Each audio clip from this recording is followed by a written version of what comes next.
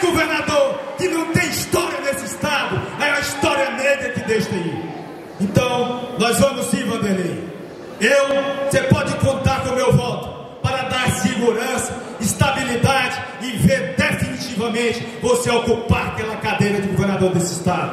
Para nós é um orgulho, é uma satisfação e o povo espera, a imprensa espera, o Brasil espera por atitude da Assembleia Legislativa do Tocantins e na batuta com mais os 23 deputados, não iremos nos furtar dessa grande responsabilidade.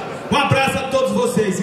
Estamos com o deputado Newton Franco. O deputado hoje, durante seu discurso aqui no evento em Miracema do Tocantins, já anunciou amanhã o início do processo de impeachment, né, de cassação do governador Mauro Carles.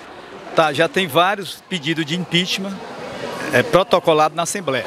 Então amanhã, como nós voltamos à nossa sessão ordinária, nós vamos dar andamento a esses pedidos. Com certeza vai ser apreciado e já estamos preparados é, também o presidente vai receber esse impeachment, que foi muito bem embasado nas denúncias, e nós vamos analisar com muito critério. Assim que ele receber, vai ser distribuído para as comissões.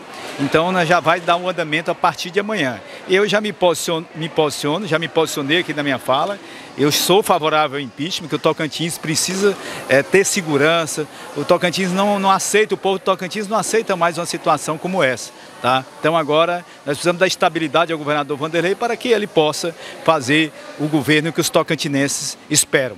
O senhor pode informar para a gente se o procurador-geral da casa já, já apresentou o parecer ao presidente Antônio Andrade? Ele não apresentou ainda, mas independentemente do parecer, né, o pedido do impeachment ele pode ser recebido pelo presidente. Mas eu creio, acredito que já está pronto lá e deve, deve ser tudo entregue no dia de amanhã. É um dia muito importante ao Tocantins, o dia de amanhã. É um dia histórico para o estado do Tocantins. Então nós, a partir de agora, já vamos nos reunir lá em Palmas, né, e amanhã também durante o dia e dar andamento nesse impeachment que é de fundamental importância para a estabilidade do nosso Estado. Falamos deputado Newton Franco aqui na cidade de Miracema do Tocantins, hoje 6 de dezembro de 2021.